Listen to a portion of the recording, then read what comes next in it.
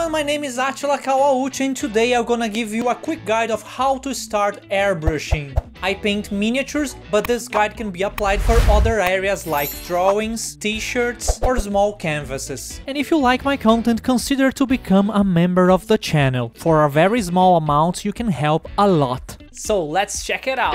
First thing you need for your own safety is to buy a mask. You can buy one from 3M, like the one I'm using here, which is one of the best of the market and will protect you 100%. But if you get a simpler version like this one I'm showing now, it won't protect you 100%, but it's better than nothing. There are several types of airbrush. For most cases, including miniature painting, I recommend a dual action airbrush. This basically means you push the trigger down to release the air and you pull the trigger back to release the paint from the cup. You can control the quantity of the paint depending on how further you pull the trigger.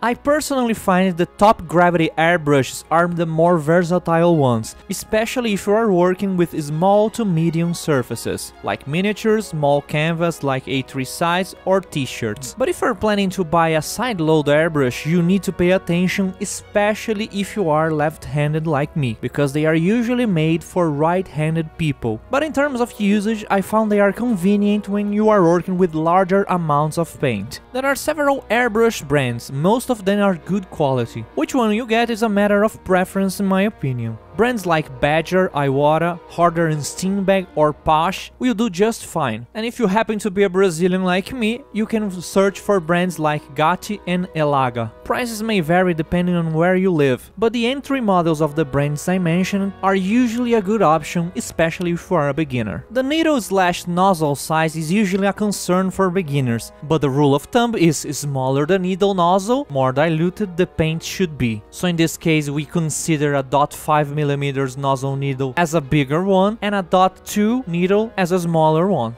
But it doesn't mean you can't use a very diluted paint in a bigger nozzle needle, so a dot 5 or dot 4 millimeter size is a good one to start with. To help you decide, you can also think about the technique you want to use, and if it requires the paint to be thinner or thicker.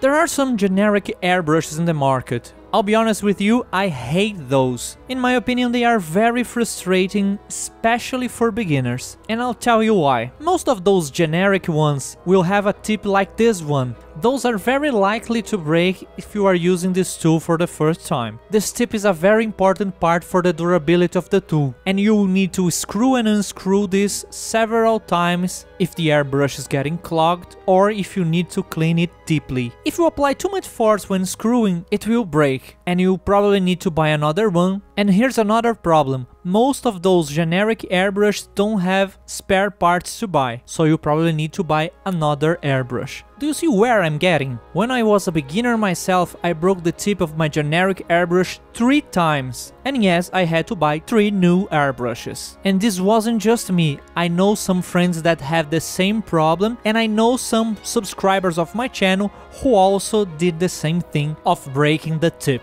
Of course nowadays I can operate those generic brushes without clogging and without having to unscrew the tip in order to clean it, but it took me a lot of experience for this to happen. And that's why I don't recommend those generic airbrushes. Most people that swears for their cheap airbrushes are either very lucky or very experienced painters. If you don't feel like this is your case, go with a decent brand, or at least one that provides spare parts. The other thing you need to invest your money is to buy a compressor to push the air to your airbrush. The best in terms of compressor is the one with an air tank. I don't think they are really necessary, especially for starting now. There are cheaper compressors that comes without the air tank and they will probably fit your needs for a long time. There are some well-known compressor brands, but to be honest with you, as long as they look like this one, they are in the same category, you will do just fine with any brand. Between your compressor and your airbrush there is a hose. There are two basic types, my preferred one is this one because it seems more durable, but the other one will also work just fine. You just plug the hose on both compressor and the airbrush and you're good to go.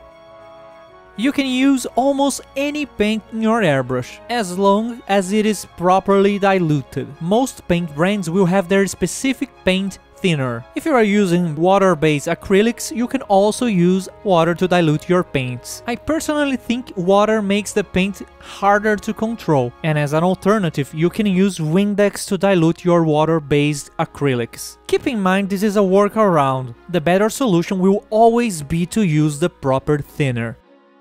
In the ideal world, you mix your painting thinner in a separated pot or tray, and once it's mixed, you can throw the mixture into the cup. However, since I'm lazy, most of the time I just mix everything inside of the cup directly. I know this is not a good example, but I do this since day one, and since I never had any major issue, I think it saves some time and it's worth trying. When applying the paint, you should always try to use thin layers and spray more air than paint through your airbrush. Another good practice is to always do the first burst away from your work, so that any excess paint in the tip will not splatter on your work. You should also wait a bit between each layer and let each layer dry a bit before spraying the next one. This way time will vary depending on the climate of your country. Here in Brazil, the paint dries super fast. Another good practice is don't keep a continuous spray in the same place, or else you have a high risk of paint spiders showing up on your work. This happens when there is too much paint in the same place and the air starts to push it away.